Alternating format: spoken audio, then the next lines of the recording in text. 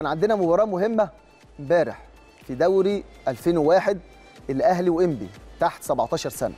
فاز فيها النادي الأهلي بنتيجة كبيرة على إنبي 7-0 هنشوف دلوقتي مع حضراتكم الأهداف دي نتيجة كبيرة. طبعا بيقود آه، فريق 2001 المدير الفني كفء الكابتن أحمد سراج.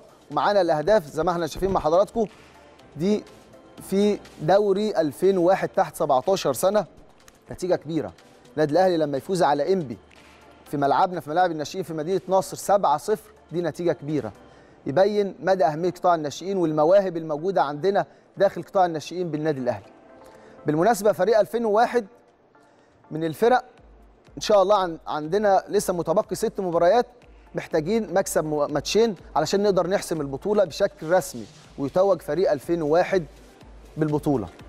فريق 2001 ما شاء الله على مدار ثلاث سنين بيعمل أرقام قياسية في مدار ثلاث سنين هزم في مباراة وحيدة فقط.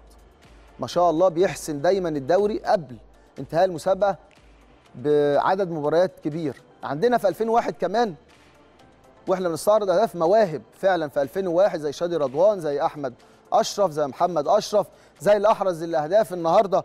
عبد الوهاب علي خمس أهداف. ما شاء الله عدد كبير من الأهداف. وهاني عمرو مساك أحرز هدفين.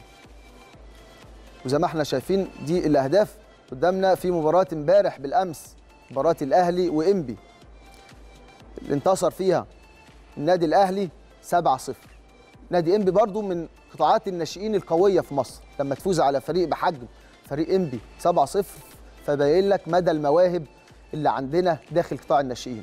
وزي ما بقول لحضراتكم الأهداف أحرزها عبد الوهاب علي مهاجم فريق 2001 خمس أهداف. وهاني عمرو مساك أحرز هدفين وهنتكلم عن المباراة دي كمان باستفاضة إن شاء الله في برنامج الأشبال يوم الجمعة. إن شاء الله هنكون مع حضراتكم مباشر على شاشة قناة النادي الأهلي. وهنستعرض مع حضراتكم ال- الأهداف كلها إن شاء الله بتاعت 2001